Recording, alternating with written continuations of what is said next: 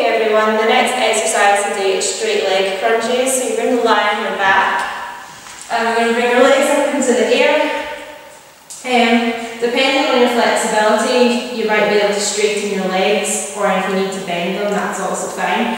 And what we're going to do is we're going to have our hands up in the air and keeping your neck nice and neutral, looking up at the ceiling, you're going to lift up and try to touch your toes. Lift up as much as you can, or you can bring your feet further over and actually touch your feet.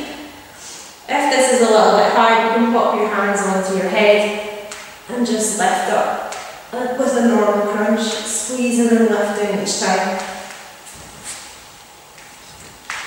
So that's a straight leg crunch.